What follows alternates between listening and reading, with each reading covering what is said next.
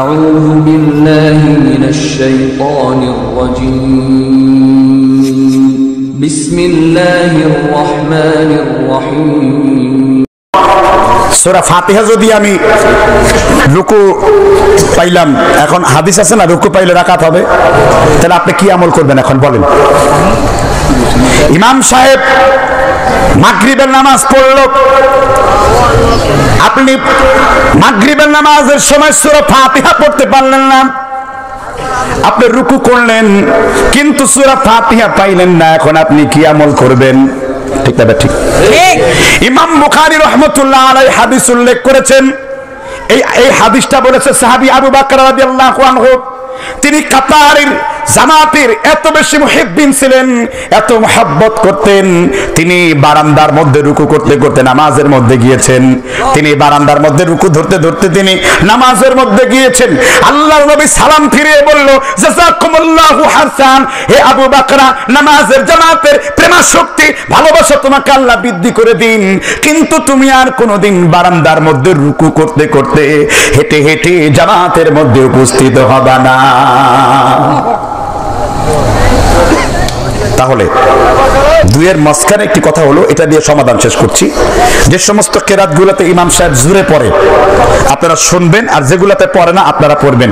একই মতটা জাস্টিস মাওলানা আল্লামা তাকি উসমানী দামাত বারকাতহুম মাল্লাবুদ্দামিনহুর মধ্যে কাজী সানাউল্লাহ পানিপতি উল্লেখ করেছেন। এবং আনোয়ার শাহ কাশ্মীরি রহমতুল্লাহ রায় বুখারীর সরা ফাইজুল বাড়ির মধ্যে উল্লেখ করেছেন। সুবহানাল্লাহ। তাহলে বাড়াবাড়ি হইল না। সারাসারি। হইল না। আমরা হক বুঝার চেষ্টা করি। এরপরে কেউ যদি সুন্না হিসেবে বলেন, না, আমি প্রতি রাকাতেই পড়ে যাব। তবে সেখানে আরেকটা কথা আছে, সুরা ফাতিহা পড়লে তার সাথে আরেকটা সুরাও যুক্ত করতে হবে।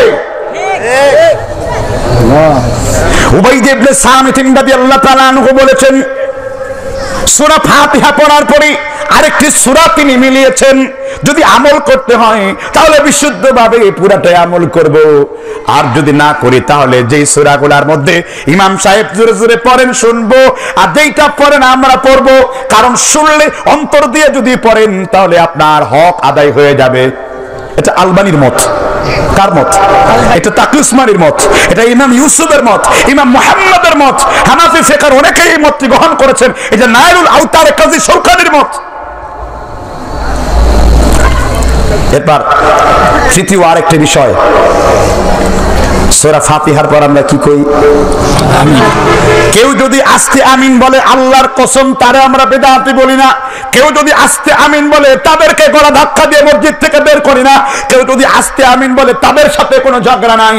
শুধু আমরা বলি হাদিস আস্তে আমিনের চাইতে জোরে আমিনের হাদিসটা বেশি উত্তম বেশি সহি। যদি আপনি পালন করেন তাহলে ওইটার থেকে বেশি লাভ হবে।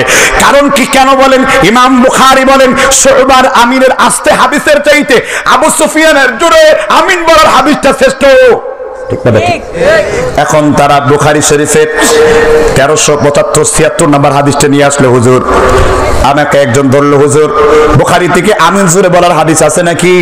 আমি বললাম আছে। ও আমিনাল ইমামাতা আমিনুল মালাইকা। যদি ইমামের আমিনের সাথে তোমার আমিন মিলে যায় গুফিরালাকুম মা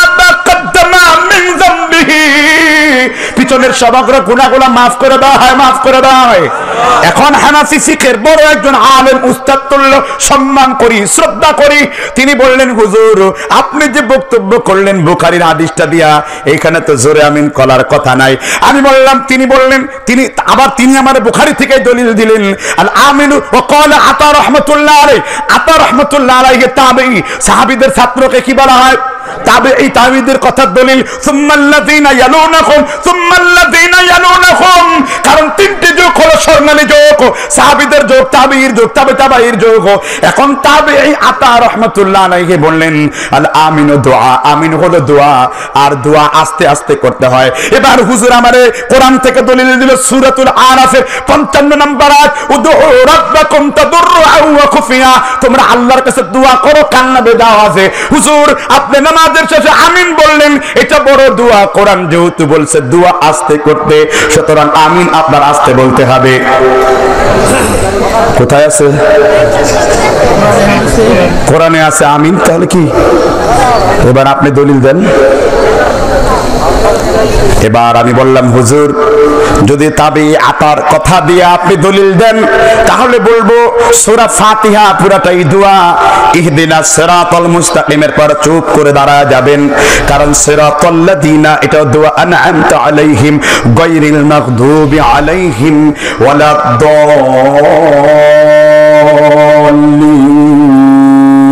পুরাটাই দোয়া।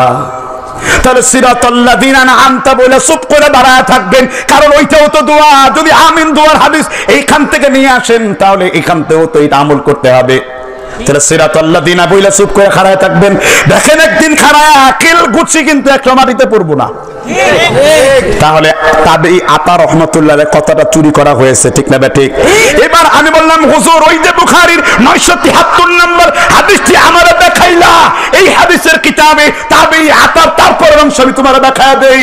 তাবে তাবে আতা বলেন, আমরা যখন সাহাবী আব্দুল্লাহ ইবনে জুবাইরের পিছনে নামাজ পড়তাম, আব্দুল্লাহ ইবনে জুবাইর এত জোরে আমিন বলতেন, আর সাহাবীগণ এত জোরে আমিন বলতেন, ইন্নালিল মসজিদি ইল্লা লাজ্জা ইন্নালিল ইল্লা লাজ্জা, আমিনের শব্দে মসজিদ গুম গুম করে কেঁপে উঠতো। কোন কিতাবে আপনার রসুলের মসজিদ কি দেয়ালের ছিল? না। ইন্নালিল মসজিদি লাল্লাজ্জা রসুলের মসজিদটা কি দেয়ালের ছিল? রসুলের মসজিদটা ছিল খেজুর। পাতার বেড়া। সাহাবিগণ এত জোরে আমিন বলেছেন আর তাহলে মসজিদটা গুম গুম করে কেঁপে উঠতো। এবার তারা আবার হাদিস দেখাইলো। এবার তিরমিজিতে চলে গেল। বুখারি থেকে দৌড় শেষ, এবার তিরমিজির দৌড় শুরু হইল। এবার হাদিস দেখাইলো ওয়ান ওয়াইল ইবনে হুজুরিন রাদিয়াল্লাহু আনহু, করা গায়রিল মাগদুবি আলাইহিম খাফাদা বিহা সাউতাহু, গুফিরা লাহু মা তাকদ্দামা মিন যামবিহি। যদি ইমাম সাহেব আমিন আসতে বলে খাফাদা বিহা সাউতাহু, আমিন যদি আসতে বলে, পিছনের সব গুনাহগুলো মাফ করে দেয়। আমি বললাম, বাবা, ইমাম বুখারী এই হাদিসটা সবার এই হাদিসটাকে তিনি জয়ীব বলেছেন। আর পক্ষান্তরে একই সাহাবী থেকে আবার জোরে আমিন বলার হাদিসও আছে। ও আন ওয়াইল ইবনে হুজুরিন রাদিয়াল্লাহু আনহু ক্বারা গায়রিল মাগদুবি আলাইহিম ওয়ালাদ-দাল্লিন। এই ওয়াইল ইবনে হুজুর বলেন, আল্লাহর নবীকে আমি দেখেছি। তিনি যখন ওয়ালাদ-দাল্লিন বলতেন, মাদ্দা বিহা সাউতাহু গুফিরাল্লাহু মা তাকদ্দামা মিন যামবিহি এবার হুজুর বলল মাত মানে কি? এখানে মাত বলছে, এখানে তো বলা নাই, এখানে তো জোরে আমিনের কথা নাই। আমি বললাম, হুজুর, আপনাকে তাহলে কারি বেলা সাহেবের মক্তবে নিয়ে যাবে একটু। মক্তবের মধ্যে পড়েছেন, নাজেরার ঘন্টায় পড়েছেন, মাত কাকে বলে? দীর্ঘ শ্বাসে টানিয়া পড়াকে মাদ বলে। এখন দীর্ঘ শ্বাসে টানবেন এরকম হয়। এরকম আমিন আপনারা বলেন নাকি? মসজিদে আছে বলেন। যদি মাদ্দা বিহা সৌতাহু, তাহলে সেটা কি কাবায় গিয়ে দেখো, মক্কায় গিয়ে দেখো, মদিনায় গিয়ে দেখো? আল্লাহ সূরা ইমরান 3 নম্বর সূরার 96 নম্বর আয়াতের ভিতরে বলেন, ইন্না বাইতি লাল্লাযী মুবারাকাও ওয়া হুদাল লিল-আলামিন আমি কিয়ামত পর্যন্ত সব মানুষের জন্য, আমি কাবাকে তোমাদের জন্য হেদায়েতের মার্কাজ করলাম সেন্টার করলাম। কাবার নামাজ, আমার নামাজ, ইসলাম আহত হতে হতে ইসলাম অল্প সংখ্যক লোকের মধ্যে ফিরে যাবে। হাত্তা ইয়ারুজু ইলাইহা। নবী বলেন, মুসলিম শরীফের 47 নম্বর হাদিস যেমন তার পত্রের মধ্যে ঢুকে পড়ে, কিয়ামতের পূর্বে ইসলাম দুই মসজিদের মধ্যে ঢুকে পড়বে। কোন দিকে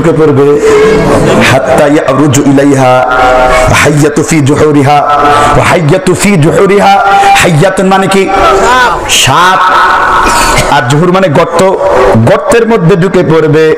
তখন ইসলাম সুরক্ষিত থাকবে। মক্কার মসজিদ আর মদিনার মসজিদ।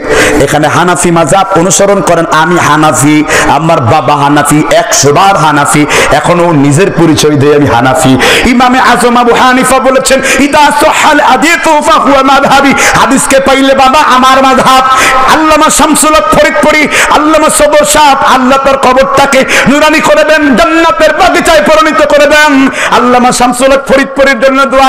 তিনি সর্বশেষ একটি কিতাব লিখেন।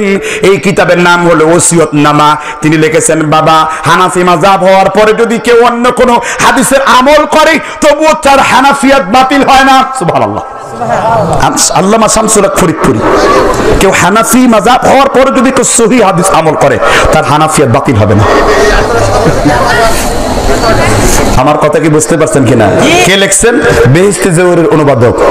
গোপালগঞ্জের টুঙ্গিপাড়ার কাছে গৌহর ডাঙ্গা মাদ্রাসার প্রতিষ্ঠাতা আশরাফ আলী থানবীর প্রসিদ্ধ একজন খলিফা যেমন হাফিজ হুজুর একজন খলিফা তেমনি ভাবে বাংলাদেশের শামসুল হক ফরিদপুরি আশরাফ আলী থানবীর একজন খলিফা। তিনারা হক বুঝতেন তিনারা পূর্বে ছিলেন ফেতনা কম বুঝছেন এমনকি আব্দুর রশিদ গাঙ্গুহি তিনি তার ফতোয়ায় রাশি দিয়ে বলছেন যে তোমরা আহলুল হাদিসের পিছনে ইক্তেদা করিও কারণ তারাও আহলে সুন্নাতের জামায়াতের অন্তর্ভুক্ত।